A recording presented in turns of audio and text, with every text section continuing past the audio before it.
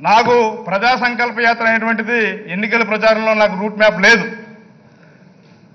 జగన్మోహన్ రెడ్డి గారిని రిక్వెస్ట్ చేసి ఆ ప్రజా సంకల్ప యాత్రని మా జగ్గంపేట నియోజకవర్గానికి తెచ్చుకోవడం జరిగింది. దానికి ముఖ్య కారణం ఆయన కూడా తెలియదు రిక్వెస్ట్ చేస్తే ఇచ్చాడు తప్ప చెప్తాను గతంలో నెగ్గినటువంటి నాయకుడు వైఎస్ఆర్సీపీ నుంచి నెగ్గినటువంటి నాయకుడు ఎవరైతే ఎవరి పేరు చెప్పినైతే నెగ్గాడో వైఎస్ రాజశేఖర రెడ్డి గారి దిష్టి బొమ్మని జగ్గంపేటలో ఫ్లైఓవర్కి ఉరి తీసినటువంటి పరిస్థితి. అందుకే నేను రిక్వెస్ట్ చేసి ఎక్కడైతే ఆయన వైఎస్ రాజశేఖర రెడ్డి గారి దిష్టిబొమ్మని తలపాగా చుట్టి మరీ ఇలా సింబాలిక్గా ఉరి తీసినటువంటి పరిస్థితి. అక్కడే ప్రజా సంకల్ప యాత్ర పెట్టించుకున్నాను.